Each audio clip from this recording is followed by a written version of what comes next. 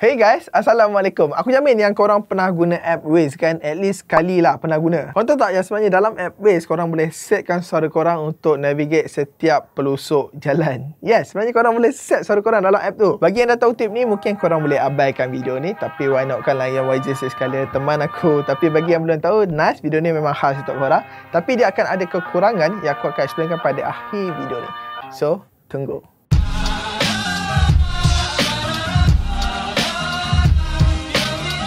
Okey, jom kita start. First kali korang kena download Waze, korang kena pergi App Store ataupun Play Store.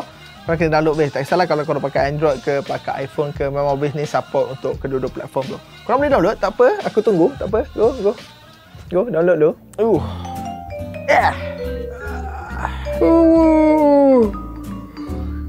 Hmm. Dah. Okey. Korang buka Waze. Okey, lepas tu korang akan perasan ada lambang speaker dekat bawah belah kanan tu. Korang tekan speaker tu dan korang akan perasan ada Waze Voice. Then korang tekan benda tu. Okay. Ah, kat sini korang akan nampak voice recorder. So dekat sini korang tekan record new voice. Okay dekat sini lah korang akan perasan ada command-command voice yang korang kena register satu per satu. So kat sini lah korang nak guna lorat utara ke, lorat Kelantan ke, Ganu ke. So tu pulang kat korang. Okay aku akan try satu. Okay dah ready. Jom. Gorak. Okay dah ready. Jom. Gorak. Wow, wow, wow, wow, wow, wow. This is nice. Okay, benda ni memang nice. So, terpulang lah korang nak guna logat apa pun korang guna lah. Belok kiri. Bapa kuis ya. Belok kiri. Kemudian belok kiri.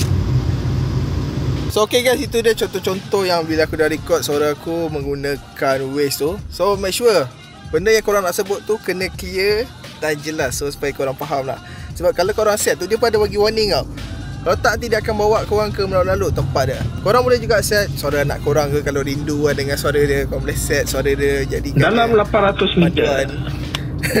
belok kanan. Ha, dengar. Belok kanan. Ok guys. Kita kembali ke studio.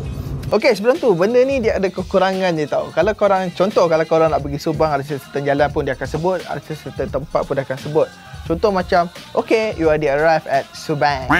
Okay, so dia ada mention Subang kan kat situ. Tapi kalau korang set guna suara korang, benda ni dia takkan sebut dah nama tempat dengan nama jalan. So kalau korang nak navigate ke Subang tu, dia just cakap, okay dah sampai. Macam tu je. Yalah kalau kita tengok pun benda ni ada 39 ayat kan. Sebab tak banyak. So kalau dibandingkan dengan standard voice tu, memang banyak lah dia akan mention kan. Alright, thank you guys sebab teman aku sama sembang dalam tu saja hari ni. Dan macam biasa, subscribe kita orang. Dan aku jumpa korang untuk video yang akan datang.